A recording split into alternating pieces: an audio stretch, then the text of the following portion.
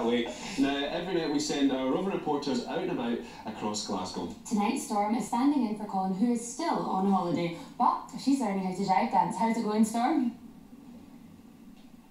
It's going quite well actually. I've definitely been put through my paces, that's for sure. Uh, I've got Paul McKenzie here, who's been the very man putting me through my paces, so we'll see how that turns out in a minute. But what I've noticed is there's a few ladies sort of dancing together or dancing on their own. Do we need to put a call out for some men to come along? yes, m- more men the merrier. Yeah, and we've got four ladies sitting here. Who are you guys waiting for a partner? Yes. Right, so do you want to put a call out to Glasgow to get more men involved? Bring some men in. okay, do this right. Can we pace out what you want to teach the people at home what you've taught me very Yes. quickly? First two spins. You Yeah. One, two, three, four, five, six. One, two, Oh, I've realised I've got a problem here. I am connected to Marco and the cameraman, so I better disconnect myself. Pass this over. and We'll go quickly. yes. And one, two, three, four, five, six. One, two, three, four, five, six. One, three, four, five, six. One, two, three, four, five, six. Check, kick, and spin. Right, should we put some music on? We'll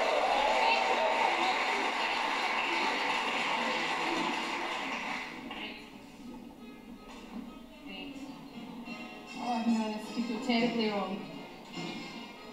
Ready? Let's go. Oh, sorry. I was already getting my hands on.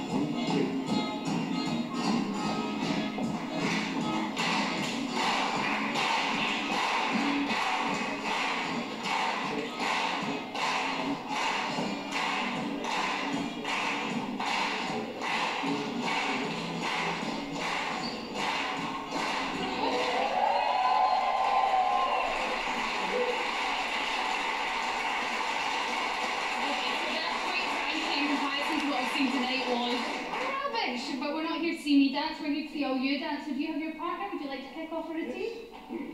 There we go. This is the good stuff.